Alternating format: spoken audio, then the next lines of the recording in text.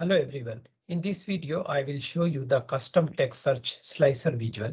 This slicer supports filtering on multiple text fields via hitting enter or using the inbuilt search button. Let's jump to the computer for the demo. So let me show you my data table first. So this is my sales data and I will add filter on country column, text column, customer, category, model and color. So now let me go back to my report page. So text slicer is a custom visual. So we have to get it from marketplace. So you have to go to your visual panel and you have to click and say get more visual.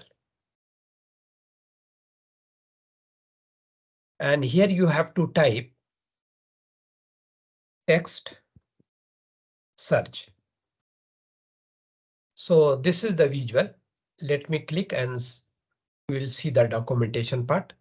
So this is the documentation part for this visual. And as this price is free, so you are free to add.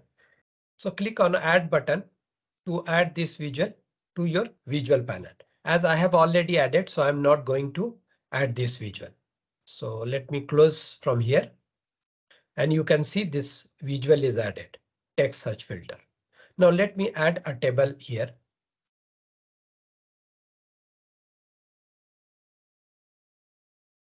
And I will add country column. After that uh, category. Then model. Color. And customer. And the last one is cells. OK, you can see it. So let me add this text slicer. So I'll double click. And I will decrease the size. OK, now you have to select this visual and from field option, you have to add first country. And after that category. So here is my category. And here you notice two buttons are added. So country and category. Now let me add a model. And after that color. OK, and then last one is customer. Now I will show you the real magic. So here you first I will type country Canada.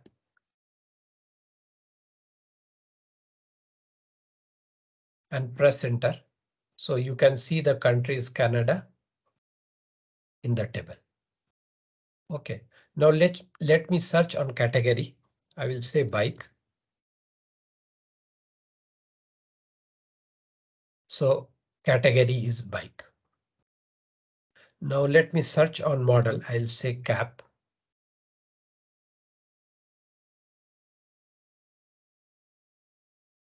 Cap and I will say model.